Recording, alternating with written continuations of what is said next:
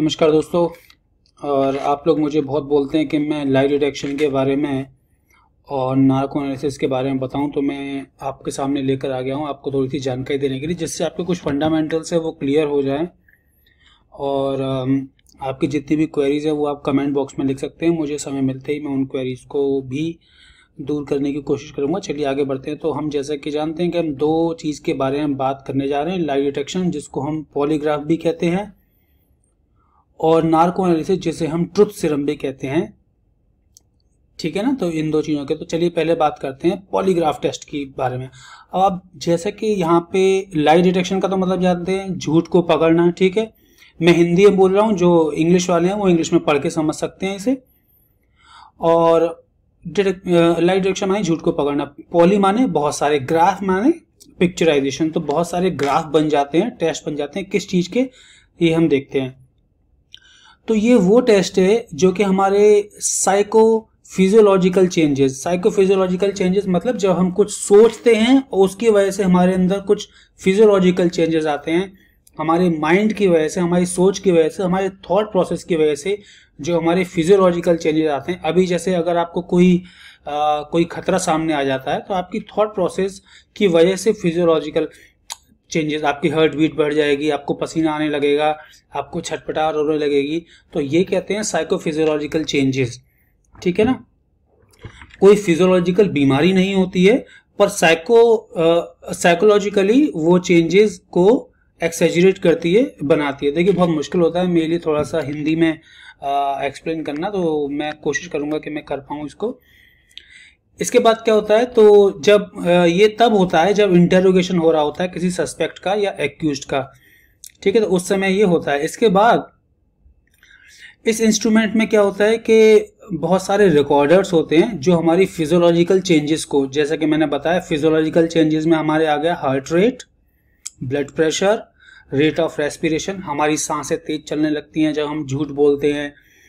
ठीक है ना? तो उन सांसों का रेट ऑफ़ रेस्पिरेशन क्या होता है कि पर्टिकुलर एक मिनट में कितने बार आमतौर पर बंदा सांस लेता है। उसका जो चेंज होता है तो पहले ये नॉर्मल चीज़ पे देखा जाता है, जब हम नॉर्मल रेट हमारा क्या है, सबका नॉर्मल रेट अलग अलग हो सकता है, पर वेरी करता है। जो लोग मेडिटेट करते हैं, जो लोग प्राणायाम करते हैं, उनका थोड़ा कम होता है नॉर्मल तौर पर, और जो लोग ओबीज होते हैं, मोटे होते हैं, जिनको कोई हार्ट की प्रॉब्लम भी होती है, अस्थमा भी होता है, या कुछ और भी, उनका कुछ तौर पर ज़्यादा भी होता है, पर एक नॉर्मल रेंज भी होती है। तो पहले इसको नॉर्मल रेंज पे सबको चेक किया था।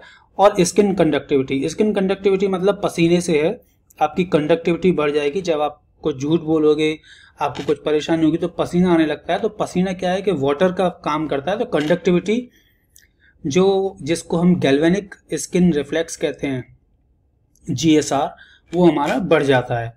समझता हूँ कि आपकी समझ में यहाँ पे आ रहा होगा। तो इसके बाद में क्या है कि ये कंप्यूटराइज रिकॉर्डिंग सिस्टम होता है मैं यहाँ पे ज़्यादा टाइम नहीं वेस्ट करूँगा। मैं सीधे आपको दिखाना चाहूँगा। आप इसको पॉज करके बाद में पढ़ सकते हैं। ठीक है ये वो चीज़ें जो मैं अक्सर स्टूडेंट्स को पढ़ाता हूँ अपने को। तो हम यहाँ पे देखिए मैं आपको बताता हूँ। इसको हम स्टूमुलेशन टेस्ट भी कहते हैं। ठीक है क्यों कहते हैं? क्योंकि ये आपको किसी भी चीज़ के लिए स्टिमुलेट करता है जब आपके साइकोफिजियोलॉजिकल चेंजेस के लिए आपको स्टिमुलेट करता है इसीलिए हम इसको स्टिमुलेशन टेस्ट भी कहते हैं। ठीक है तो ये एक आ, ऐसा एग्जामिनेशन है जिसमें कि एक प्री टेस्ट फ़ेज़ होता है। प्री टेस्ट फ़ेज़ में क्या करते हैं? अगर आप अभी मुझसे बोलेंगे कि आपका पॉलीग्राफ टेस्ट होना है ठीक है, आप मुझसे बोलते हैं, आपका पॉलीग्राफ टेस्ट होना है। मैं ले मैन हूँ, मैं बहुत ही ना समझू मैं नहीं जानता हूँ। ठीक है ना? जैसे कि इस केस में अगर हम नीरज को लें या केशव को लें तो उसको नहीं पता है कि ये क्या होता है तो वो घबरा जाएगा। और वो घबराने की वजह से चेंजेस आएँगे पॉलीग्राफ मशीन में तो वो मिस इंटरप्रिटेट हो सकते हैं। उनको गलत देखा जा सकता है, इसीलिए प्री टेस्ट फ़ेज़ होता है। तो प्री टेस्ट फ़ेज़ में क्या है कि बंदे को नॉर्मल पहले सब कुछ समझाया जाता है कि क्या टेक्निक है, क्या होगा, क्या चीज़ नहीं होगी। इसमें कोई आपको करंट नहीं लगेगा। बस आपके कुछ आपको एक ब्लड प्रेशर का कप पहनाया जाएगा, आपकी चेस्ट पर रेस्पिरेशन रेट का ये पहनाया जाएगा और आपको कोई भी हानि नहीं होगी। फिर आप उनसे कुछ क्वेश्चन पूछे जाते हैं, उनका चेक किया जाता है कि नॉर्मल क्वेश्चन तुम्हारा नाम क्या है? कहाँ के रहने वाले हो ये सब चीज़ें जिससे कि कंट्रोल बन जाए कि इस चीज़ पे उसकी बीट्स वगैरह नहीं बढ़ रही है। उसके बाद सीधे लीडिंग क्वेश्चंस पूछे जाते हैं। ठीक है ना? जैसे हम सीक्यूटी कंट्रोल क्वेश्चन टेस्ट भी कहते हैं। ये चेक करने के लिए होता है जो बहुत ही रेलिवेंट होते हैं आ, केस से। जैसे कि एग्ज़ाम्पल मैंने लिया है यहाँ पे did you shoot your wife क्या तुमने अपनी आ, पत्नी को गोली मारी? तो ऐसा कोई क्वेश्चन होगा तो इंसान की हर्ट बीट और ये सब बढ़ जाएगा। तो हम ये देख लेंगे कि हमारी मशीन सही तरीके से काम कर रही है। उसके बाद हम मेन टेस्ट पे आते हैं। अब इसमें आप यहाँ पे देख सकते हैं, ये जो ग्राफ्स बन रहे हैं, एक ग्राफ इसमें ब्लड प्रेशर का होगा, एक ग्राफ इसमें जो स्किन कंडक्टिविटी का होगा, एक ग्राफ देखिए स्किन कंडक्टिविटी के ये इलेक्ट्रोड्स यहाँ पे लगे हुए हैं। और यहाँ पे आपका रेस्पिरेशन रेट के लिए लगा हुआ है, फिर यहाँ पे ब्लड प्रेशर के लिए लगा हुआ है। इस तरह से किसी किसी में ब्रेन मैपिंग में क्या होता है? ब्रेन मैपिंग एक है, उसमें सर के ऊपर भी लगा देते हैं। तो इसको हम गिल्टी नॉलेज टेस्ट भी बोलते हैं जीकेटी कई कंट्रीज़ में बोला जाता है। ठीक है ना? तो ये, इस तरीके से ये टेस्ट होता है। अब आपके दिमाग में एक क्वेश्चन आएगा। अब मैं आपसे क्वेश्चन पूछता हूँ यहाँ पर। अगर मान लीजिए कोई इंसान बहुत मेडिटेट करता है, अपने आप को काम रखना, अपने आप को बहुत ही काम रखना जानता है कि किसी भी परिस्थिति में अपने आप को काम कैसे रखा जाता है तो ये इस टेस्ट की यहाँ पे लिमिटेशन बन जाती है। वो झूठ आसानी से छिपा सकता है। ठीक है? पर क्योंकि ये एक राउंड में नहीं होता, इसके दो तीन राउंड लिए जाते हैं, इसीलिए इंसान को पता नहीं लगता है कि कब वेरिएशन कैसे चेंज हो रहे हैं। और उन वेरिएशंस को लोग पढ़ लेते हैं। ये होता है लाई डिटेक्शन टेस्ट में पॉलीग्राफ टेस्ट में। कोर्ट में ये एडमिसिबल नहीं है एज अ कंक्लूसिव एविडेंस इसके बेसिस पर कोई भी कंक्लूजन नहीं निकाला जा सकता है। क्यों नहीं निकाला जा सकता है? जैसा कि मैंने आपको बताया कि कोई भी इंसान जो अपने आप को काम रखना जानता हो, जो अपने आप को, काम को हिंदी में क्या कहते हैं, जो अपने आप को शांत रखना जानता हो और वो इसको चीट कर सकता है इजीली तो उसमें डिफरेंसेस उसके पॉलीग्राफ में नहीं पता चलेगा। इसीलिए ये टेक्निक थोड़ी सी कॉन्क्लूसिव नहीं है। कोर्ट में। पर होता क्या है कि बाकी एविडेंसेस अगर मिल चुके हैं, अब जैसे कि हम इस केस में देखें, किसी के खिलाफ हमें चैट में नाम नहीं ले रहा हूँ, किसी के खिलाफ हमें चैट मैसेजेस मिल चुके हैं, ये साफ़ तौर पर दिखाई दे रहा है। तो एक हमारे पास एक एविडेंस है इलेक्ट्रॉनिक एविडेंस है। अब हम उस व्यक्ति से लीडिंग क्वेश्चंस पूछेंगे। अगर वो झूठ बोलता है तो हमारे यहाँ पर जो है क्लियर दिखाई दे जाएगा कि इस बंदे ने झूठ बोला है। ये ग्राफ में, और ये कई बार रिपीटेडली किया जाएगा। तो ये है हमारा पॉलीग्राफ टेस्ट इसके बाद आता है नार्को एनालिसिस या ट्रुथ सिरम जिसे हम कहते हैं। नार्को टेस्ट भी कहते हैं। ये क्या है कि क्लोज टू अनकॉन्शियसनेस इंसान को कहा ले जाता है? बिल्कुल अनकॉन्शियसनेस के पास। अनकॉन्शियस नहीं है। अगर इंसान अनकॉन्शियस हो जाएगा तो बेहोश हो जाएगा। वो कुछ बता ही नहीं पाएगा, पर यहाँ पर हम क्या कर रहे हैं?